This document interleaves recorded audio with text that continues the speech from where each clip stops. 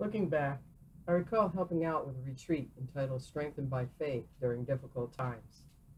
I was asked to share my journey with grief using the gospel reading from Mark chapter 4 verses 35 through 41 as a roadmap for my reflection and sharing.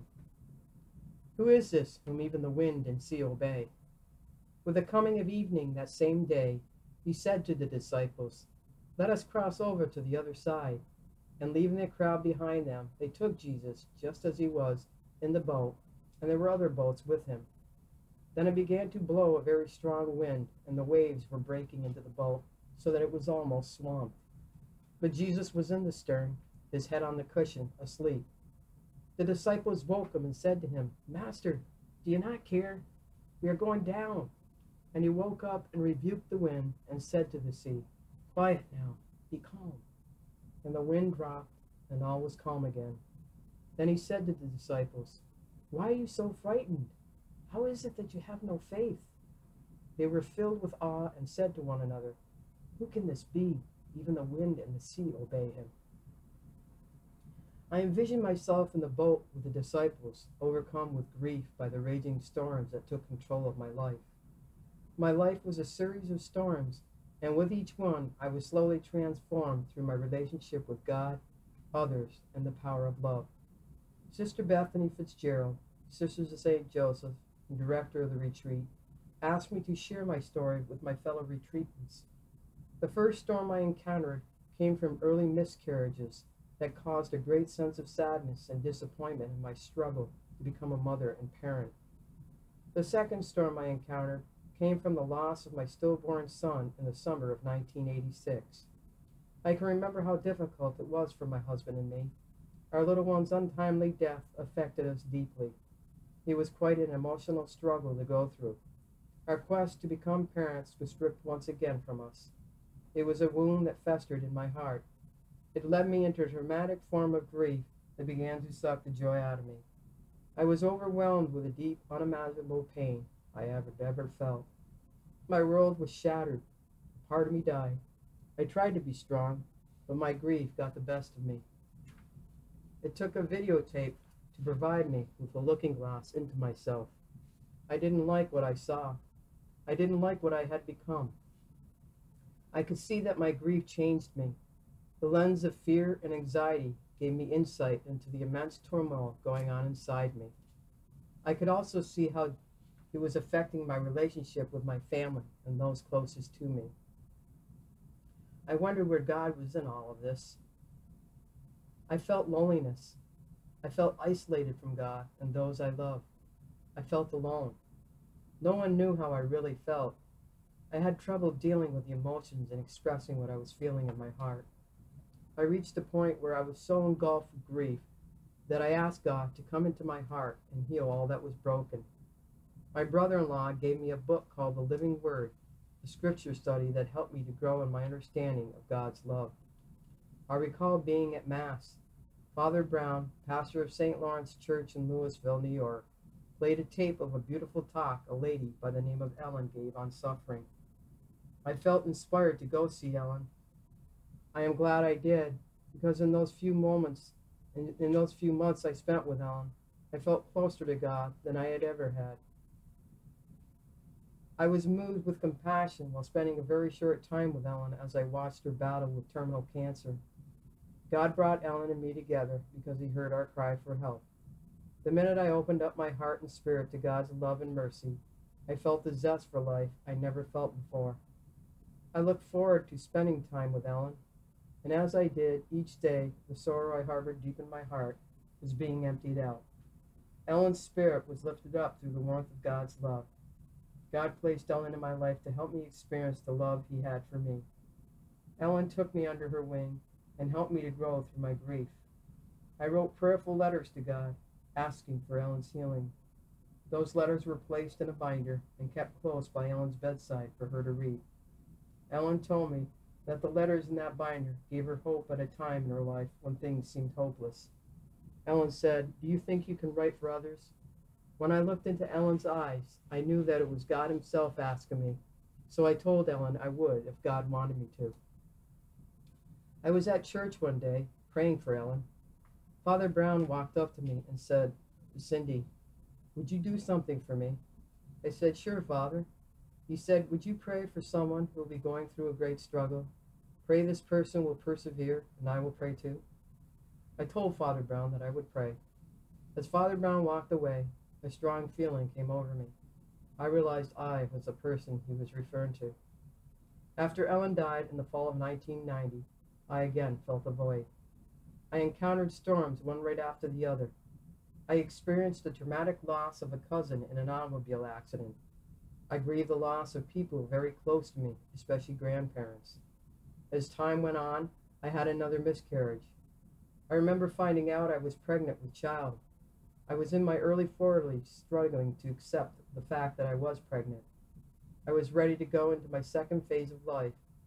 But with the help of God's grace, I was able to lay my fears and anxieties to rest and found peace with the pregnancy, trusting, Father God, that all things work together for the good of those He loves. After four months of carrying the baby in my womb, I found out that the baby's heartbeat stopped. It wasn't long after that I miscarried. I was heartbroken.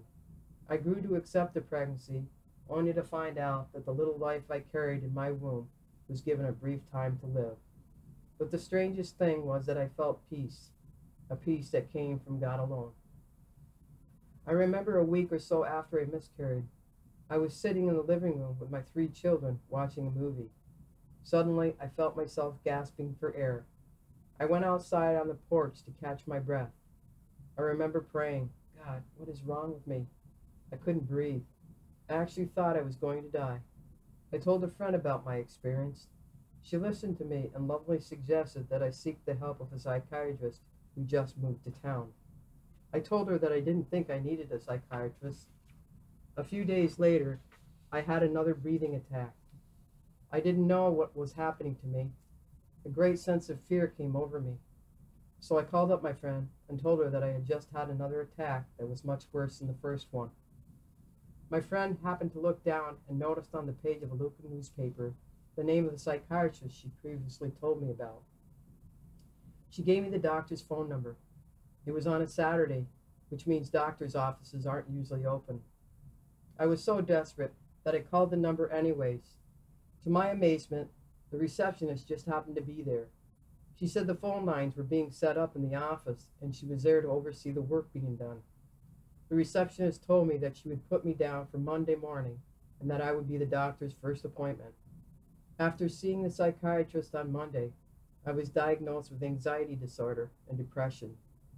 Here I am in the boat once again with the disciples, struggling, struggling with not only that festering wound from pain of loss and separation, but anxiety disorder and depression.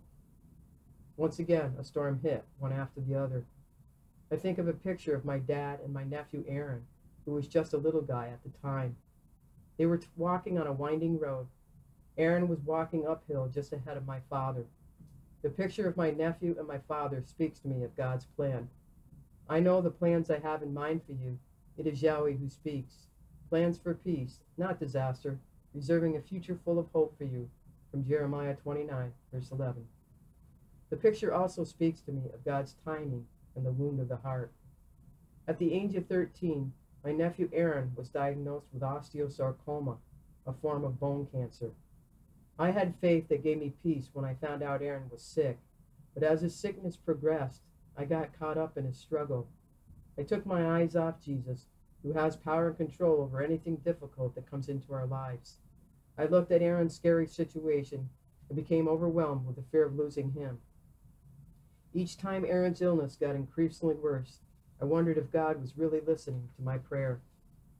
Aaron died in the spring of 2011 at the age of 16. Oh, how I prayed every day, hoping for a miracle. I felt so broken-hearted when Aaron passed away. I stood there in silent prayer asking God why. Where is the miracle, the cure, the answer to our prayer? I felt anger, disappointment, and the pain of losing someone all over again. A short time after Aaron passed away, my father would predominantly follow in Aaron's footsteps. Dad battled with prostate cancer. He died 19 months later. I felt like one of the disciples in the boat asking the Lord, Do you not care about what is going on here? During that time, my mother was struggling with Alzheimer's, a brutal disease that destroys the memory. She was diagnosed with this illness during my father's battle with cancer. Here I am again in the boat with the disciples, struggling with not only the cross of pain from loss and separation, but the fear and the heart piercing sadness of losing my mother too. When would that pain and void in the depths of my soul subside? When would the hurt I was feeling be alleviated? I was so caught up in my grief that I got stuck in it. I lost sight of what joy really is. I became a spectator, watching all that was happening to me and letting those tragic moments suck the life right out of me. I realized that I had to do something about it. I needed to take steps towards opening myself up to God's love. Praying and asking God for healing was a big step in the right direction. Seeking the help of a counselor to help me process my feelings was another step. Having a spiritual director to listen to me, guide me, pray for me, support me, encourage me, and walk with me in my journey to persevere was a tremendous step because I needed not only to think of my physical and emotional well being, but my spiritual well being as well. Listening to Christian songs and music with nature's sounds in it soothes my soul. Reading scripture and inspirational books gave me wisdom, understanding, and hope. Spending time in nature with unwritten scripture helped me to feel close to God. I always seemed to feel His presence in such an awesome way through the things I mentioned. Rather than remaining a spectator, dwelling on the obstacle that kept me stuck in my grief, I became a participator and began to do the things I needed to do to open myself up to the power of God's love and presence in my life. I recall going on retreat at the Sisters of St. Joseph's Mother House just before Thanksgiving. While walking outside on the grounds of the Mother House, I came upon an injured buck adorned with a beautiful rack of antlers on its head and clothed in a thick fall coat. I noticed the buck had an injured foot that he was favoring. From the expression on his face, I could tell he was hurting. I felt empathy for him because he was not only dealing with an injury, his vulnerability to predators was imminent. On my walk, I stopped at the statue of the Sacred Heart of Jesus to contemplate the image of the wounded deer. I listened to a song called Power of Your Love. As I prayerfully listened with my heart to the words of this song, I felt the warmth of our Lord's presence within me. I was enlightened. Just like the deer, I too am vulnerable when I am weak, wounded, or hurting. Matthew Ward expressed in the song what I was feeling in my heart. Lord, I come to you. Let my heart be changed, renewed, flowing from the grace that I have found in you. Lord, I've come to know the weaknesses I see in me will be stripped away by the power of your love. As I continued on my walk, I stopped by the statue of Blessed Mother Mary to reflect on the sorrow that was not just of my heart, but the sorrow that pierced Mary's heart as well. I noticed Japanese lantern flowers growing in behind Mary's statue. That imagery of Japanese lanterns made me realize how blessed and grateful I am to have God's grace working in my life. Each person that came to me during the mountain peaks of my struggle to help me, guide me, encourage me, and pray for me were like Japanese lanterns lighting the way through the dark night of my soul. In his book, The Yellow Brick Road, William J. Bausch writes The Christian community should talk just as loud and long about God's presence in the most hopeless situations as we do about the miraculous healings. I remember shortly after the baby's death, my mother in law received a message from God while praying for my husband and me. She was asked to convey this message to us. God said, Tell them I will bless them. God blessed my husband and me with three more children in the years that followed a daughter and two sons. I know that sorrow and disappointment came knocking at the door of our hearts, but in time and with the help of God's grace, my hu- husband and I found the courage to embrace our pain with love and gratitude for all that God blessed us with through our stillborn son and the miscarriages. We were and are very grateful for the gift of parenthood. There was also such an amazing outpouring of love and support coming from my parents, in laws, my brothers and sisters, my brothers and sisters in laws, relatives, and friends who were there to pray and see me and my husband through my struggle to give birth to our stillborn son. I also remember how supportive the nurses and the doctor on call were in helping me and my husband through this traumatic experience. I think of the many people who reached out to us via cards to let us know they were praying for us. Father God sent us angels to look out and care for us. I am grateful that He put angels in our life to provide for our well being and to help us get to where we are now. God was there for me when I struggled with a miscarriage. He was in my friend who made the suggestion to see someone and get help. He was there when my friend looked down and saw the psychiatrist's picture and her phone number there in the newspaper sitting on her table. He was there when the doctor's office just happened to be open on Saturday so I could talk to the receptionist, who in turn set up an appointment for me two days later. He was there and the psychiatrist who talked me through what I was experiencing, helped me process what I was feeling, diagnosed me, and treated my symptoms. He was there through the many prayers being offered up for my husband and me. He was there through those who came to me and my husband to offer themselves as a crutch to lean on, through their kind words, hugs, warmth, and love. After reading the book Choosing Gratitude Your Journey to Joy by Nancy Leigh DeMoss, I realized that the Lord has taken me on a journey to train my heart to respond to all of life with a spirit of gratitude and thankfulness, even in the seasons of trials, hardship, sorrow, suffering, and grief. In a reflection entitled Finding Gratitude in Times of Hardship, Marquita Herald writes, It's not what happens to you, it's what you do about it. And gratitude can open the door to finding your path out of the storm. Gratitude is an invitation to transformation. I was asked to make a lotus visual of the transformation that you can see before you. On the board, you can read about the lotus flower the lotus flower begins its life cycle born in the bottom of a murky pond, surrounded by muck, insects, fish, and mud. The flower makes its way through all kinds of obstacles, rising from its rugged conditions, untouched, unharmed by its dirty surroundings. There is not one stain, drop of mud, or dirty water on the lotus as it slowly unfolds its petals to the light and warmth that flows from the sun. As nighttime rolls in, the lotus flower closes and sinks beneath the murky pond and rises again in the dawning of each new day, unharmed and untouched by its murky surroundings. Despite being born into dark, murky, rugged conditions where beauty and life for a flower seems hopeless, the lotus grows and rises through the darkness of adversity. Each day is a joyful celebration of a resurrected new life. You could also see a visual of what transformation looks like. fear into faith, weakness into strength, despair into hope, suffering into peace, sorrow into joy, mourning into dancing. I also put up on the visual board a couple of quotes that helped me from the Emperor of China movie, Mulan. The flower that blooms in adversity is a rare and the most beautiful of all. Just like the lotus, we too have the ability to rise from the mud, bloom out of darkness, and radiate out into the world. Anonymous. In William J. Bausch's book, The Yellow Brick Road tells of an ancient Sufi story that tells how important transformation is. Once upon a time, a stream was working its way across the country, experiencing little difficulty. It ran around the rocks and through the mountains. Then it arrived at the desert. Just as it crossed every other barrier, the stream tried to cross this one, but it found that as fast as it ran into the sand, its waters disappeared. After many attempts, it became very discouraged.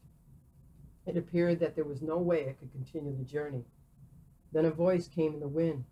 If you stay the way you are, you cannot cross the sands.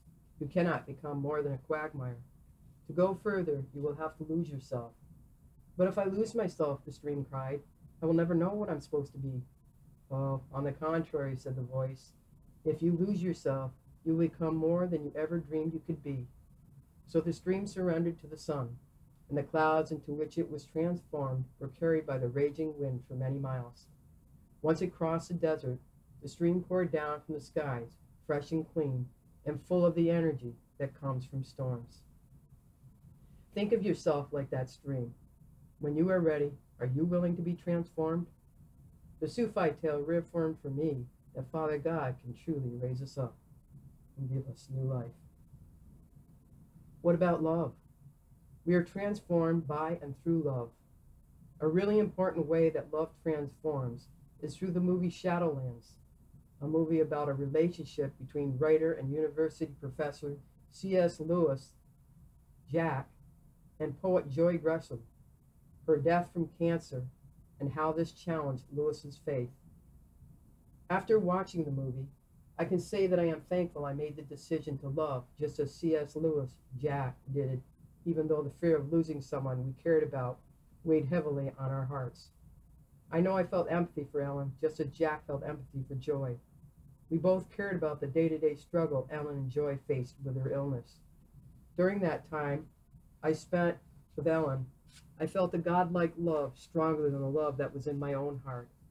I experienced a godlike love that brings warmth, healing, and peace to a broken spirit. Jack felt this, that same love. I remember talking to Sister Edwards, a wise friend, about the awesome experience I felt when I spent time with Ellen. But since Ellen died, all I could feel was a heart piercing sadness that left a great void in the depths of my soul. Speaking about the experience, Sister Edwards said, You may never feel that again, and reminded me of Jesus' words Do this in memory of me. Like Jack, I made the decision to love even though it would hurt all the more when Ellen died. The joy Jack and I were feeling became a part of our future pain. I can see myself walking closely with Jack in the movie Shadowlands. I felt his pain. I can understand what it feels like to push someone away because of fear, fear of losing them. The loss of his mother was a traumatic experience for him. I can understand the emotional walls that Jack created and put up to protect himself from grief. I can also understand how these emotional walls kept him from having relationships, intimacy, joy, and hope. He was trying to live his life in a self protected mode until joy came into his life and helped him through his grief. She helped him see with lens of faith the emotional walls he created to control his hurt. She helped him to see with lens of faith the emotional walls he put up in his relationship with others. Jack saw with lens of faith the grief that Joy's little son Douglas was experiencing after the deaths of his mother. Father God provided Jack with a looking glass into himself. With lens of faith, Jack saw himself in Douglas, grieving the loss of his own mother when he was very young. Jack could relate to how Joy's little son was feeling. He embraced the little boy with a godlike compassion born from his own pain. That day, Jack embraced the sorrow in his own heart. I think of the Emmaus Walk, a walk that helps people to know and experience God more fully, as we read about in the Gospel of Luke chapter 24, verses 13 through 53. Jack, Joy, Douglas, Warren, Christopher, Peter Whistler, and Harry find themselves on an Emmaus walk, listening and talking with one another as they experience the power of God's love transforming them along the way. I found myself on an Emmaus walk with these individuals in the movie and with my fellow presenters in preparation for this retreat. I felt God's love and grace transforming me along the way. I spent an enormous amount of time wandering in the wilderness, struggling with sorrow and suffering. Those times may come and go, but my journey through the wilderness is a time for me to deepen my roots in the Lord. It is a time for me to learn lessons in faith, hope, love, and trust. It is a time for me to learn to let go of my independence and become dependent upon God. It is a time for me to grow in a deeper relationship with the Lord. It is a time for me to lean on God and trust in Him, knowing that He makes all things work together for the good of those He loves. It is also a time to love Jesus better. I remembered that moment with Father Brown and thank God for the grace to endure all that I have been going through. I am grateful the Lord became present to me through Father Brown who advised me to pray for the grace to persevere. So while I found myself with the disciples in the boat overcome with grief by the raging storms that took control of my life, I have truly come to know and understand how powerful my faith can be, even against the mightiest of storms. I found out how powerful my faith can be in difficult times, thanks to the power of God's love flowing from the grace I have found in Him. In my parents' front yard stands a tree. The trunk of the tree shows exposure to bad weather. The tree looks like the divine tree surgeon pulled back the layers of bark and wood to get to the center where you can actually see the shape of a heart, the wounded heart of the tree. The tree speaks to me of human hearts wounded by pain from loss and separation. The tree also speaks to me of the divine tree surgeon healing the wounded hearts of those who grieve. What do I see in that tree? I see the wounded healer in me that is becoming a sanctuary to glorify God. In his book, God Help Me, Gregory Popcak writes, Scripture shows us no one who ever approached the Lord in faith left the experience unchanged. So let us be confident then in approaching the throne of grace that we shall find grace when we are in need of help, hope, and healing. In Hebrews 4, verse 16.